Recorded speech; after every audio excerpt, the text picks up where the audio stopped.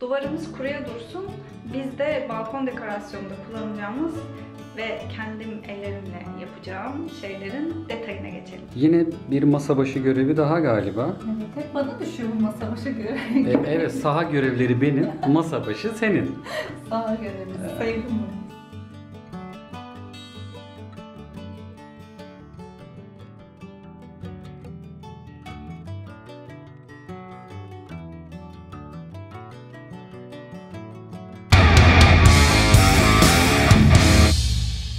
Yine bir masa başı görevi daha galiba. Evet, hep bana düşüyor bu masa başı görev. E, evet saha görevleri benim, masa başı senin. Sağ görevimiz. Sayılır mı? Sevdin mi? Şimdi Anlat bakalım. anlatayım. Hemen anlatıyorum.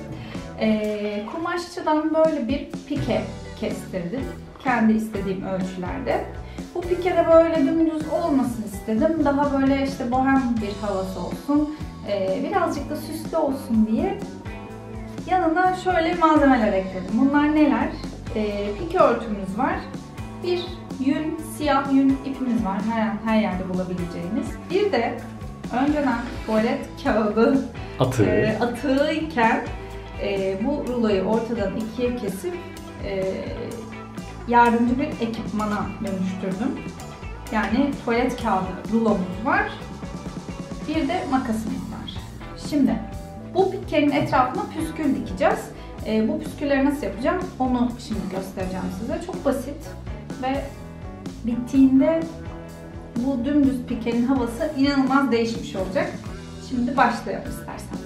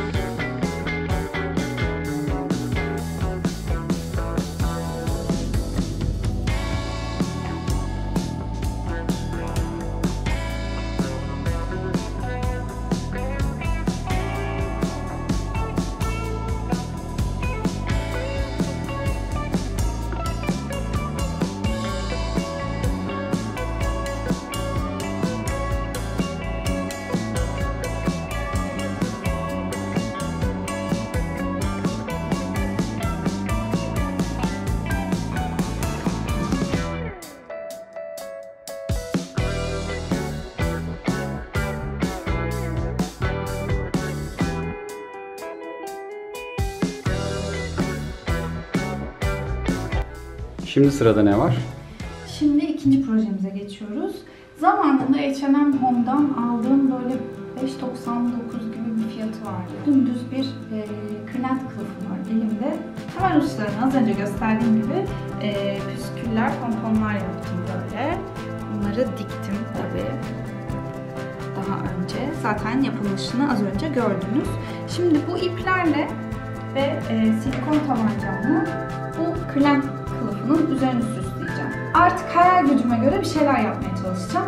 Bakalım nasıl bir sonuç ortaya çıkacak. Bence kesinlikle çok güzel sonuç çıkacak. Ben güveniyorum. Sen hep beğeniyorsun zaten. Hiç beğenmediğin bir şey var mı? Olduğunu söylüyorum ama. Neyi beğenmedin mesela? Beğenmediğim olmamış. Olmamış. Demek ki bu seçtiğin şeyler, figürler, yaptıkların güzel gelmiş bana. İyi hadi başlayalım. Haydi başlayalım.